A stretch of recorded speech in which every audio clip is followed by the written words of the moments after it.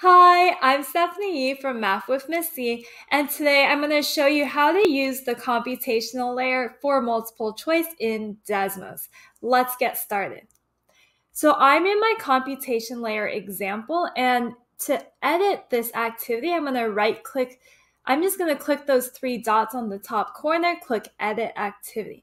Once I'm in this activity, I can see all the slides that are included in this slide deck. So today we're going to focus just on the multiple choice set.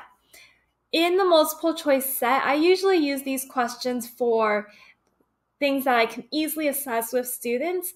And you can see that there's the problem, there's also the question answers that students can choose from, and then there's also an unlabeled note here in the top right corner, you have that embed with the care and slash. That's where all the code in your Desmos will go. If you want to use multiple choice in your activity, you can just copy and paste this code over.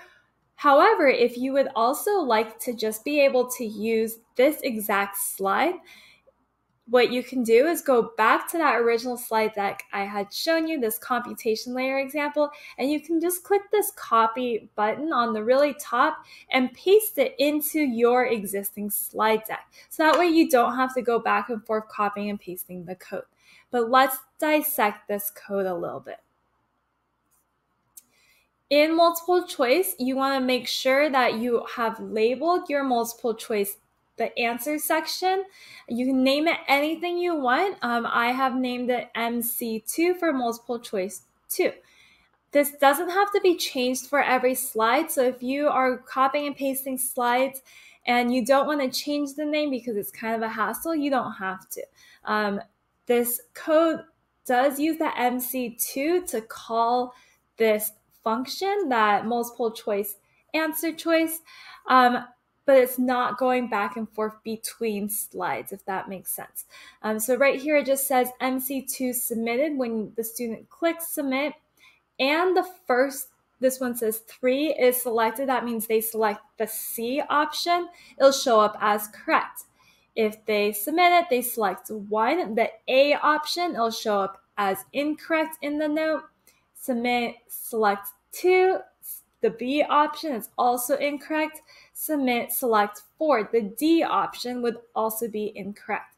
So the biggest piece to keep in mind if you are using this multiple choice is that you are going through and changing what the correct answer is. And so just make sure you're changing it so that way when students are actually going through this practice set, they're getting the accurate feedback.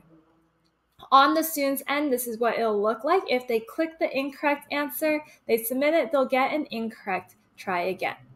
On the teacher end, right here, is what you'll see on the teacher dashboard. If students select this A, that first answer choice, it'll show up as an X on your end. If they go back, they realize, oh, I made a mistake. My answer is actually 10. Um, it'll show up as correct. And then on the teacher dashboard, you'll see the check mark show up.